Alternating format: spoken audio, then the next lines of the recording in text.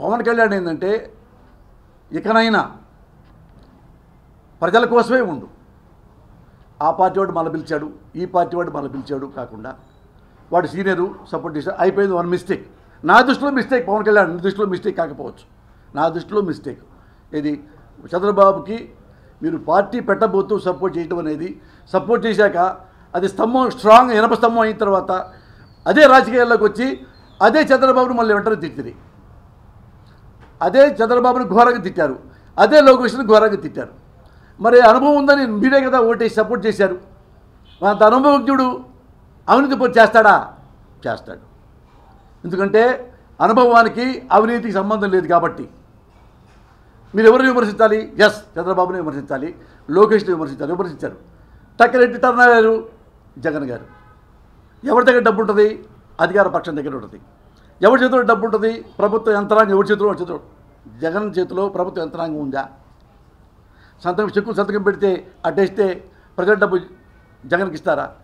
ఏ రంగు రూట్లో జగన్ డబ్బు సంపాదించాడు? ఎందుకు జగన్ అంత ఘోరంగా తిట్టావు? రౌడీ అన్నావు నువ్వు కూడా రౌడీ అన్నావు నువ్వు కూడా ఫ్యాక్సిస్ట్ అన్నావు ఇలాంటి వాడు గెలవకూడదు అని తగనేశావు ఒక ఎగ్జామ్ ఒకటి చెప్పు. ఏం ద్రోహం చేశాడో చెప్పు.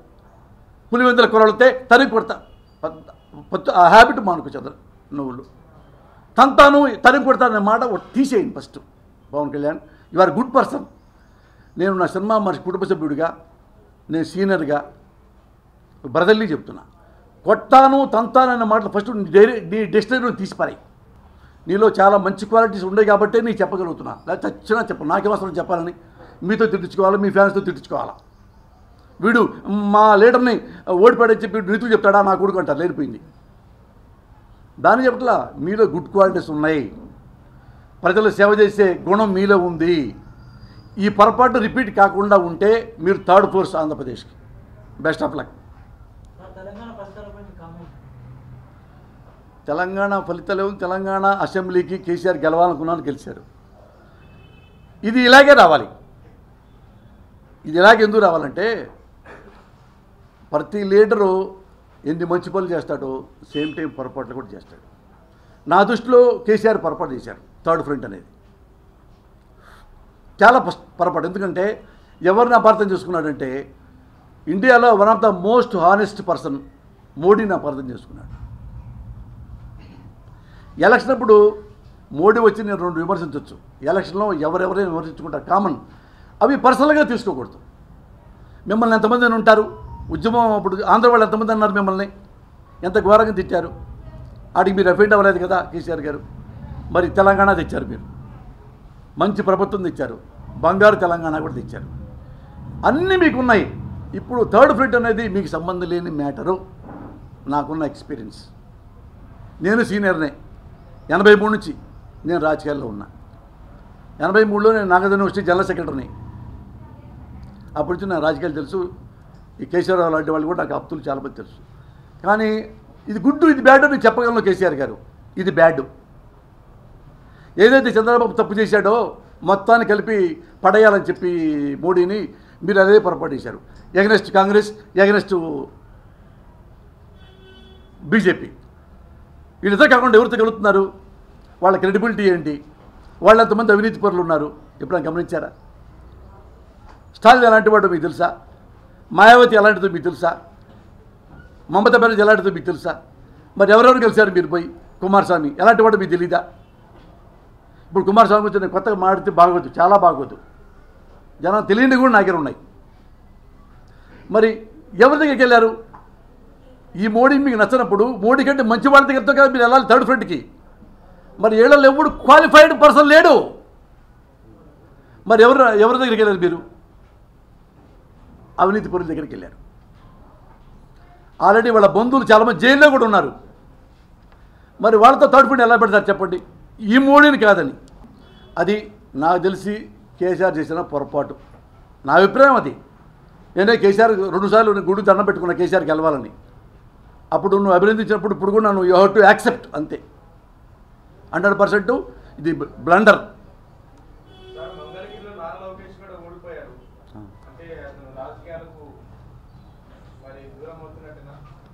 నేను కూడా ఓడిపోయా చిల్లరూరుపేటలో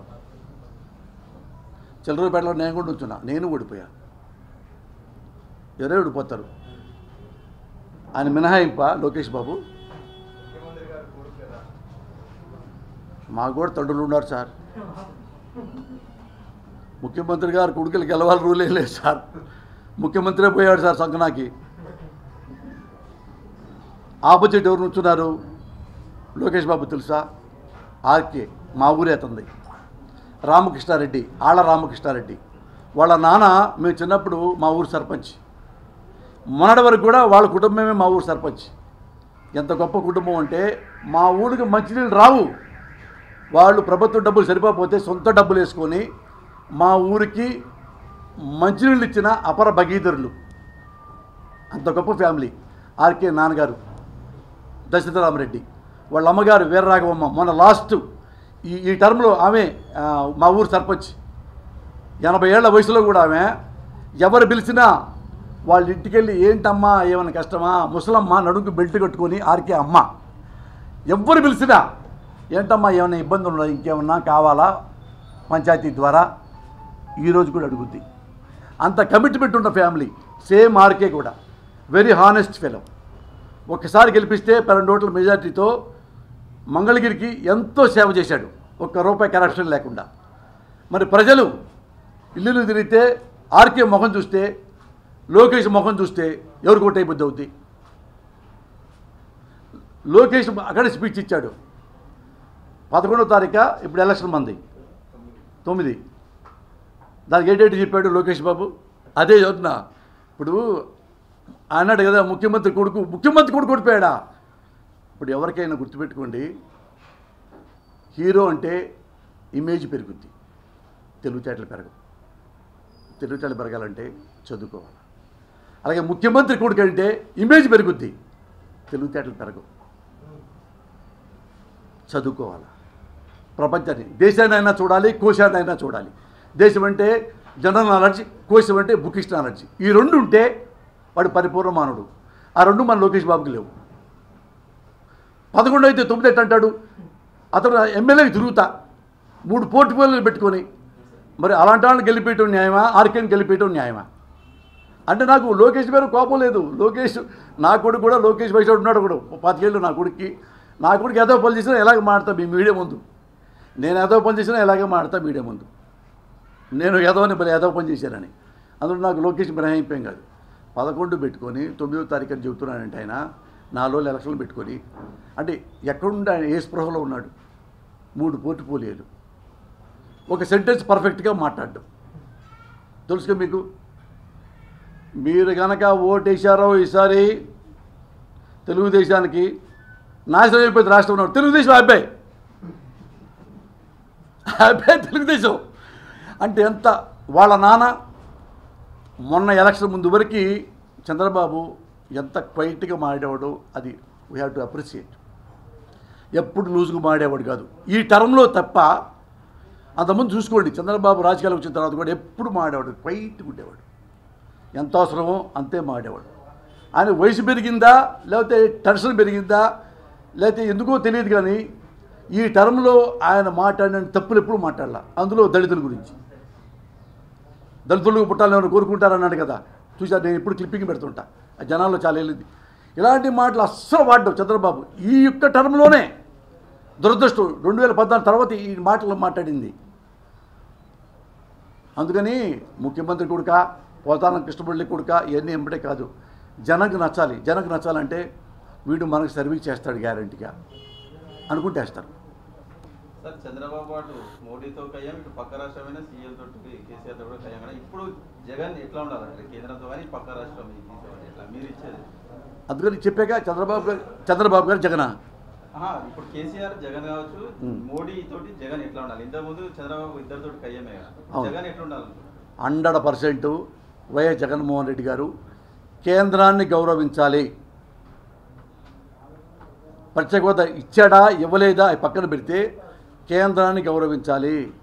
కేంద్రం నుంచి మనకి వేలల్లో వేలల్లో వేలల్లో రావాల్సిన ఫండ్స్ ఉంటాయి.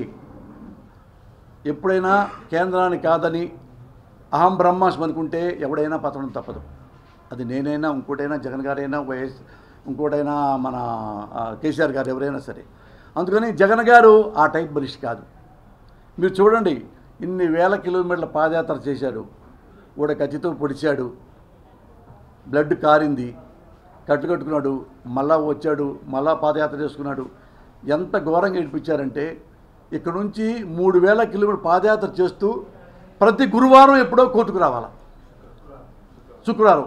ఎంత పనిష్మెంట్ అండి?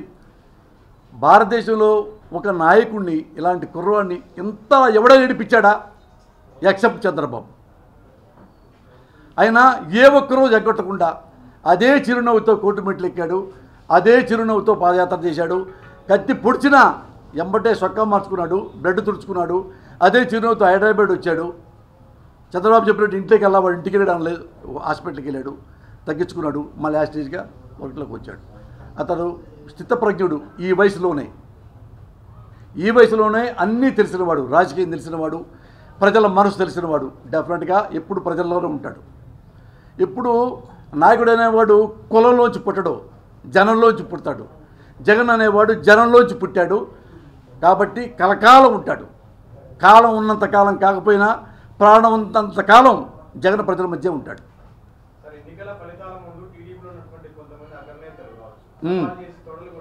అవును.